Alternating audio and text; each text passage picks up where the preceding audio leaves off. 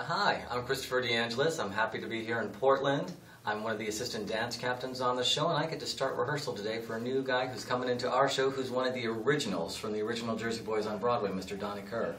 So you can look forward to seeing him here in Portland.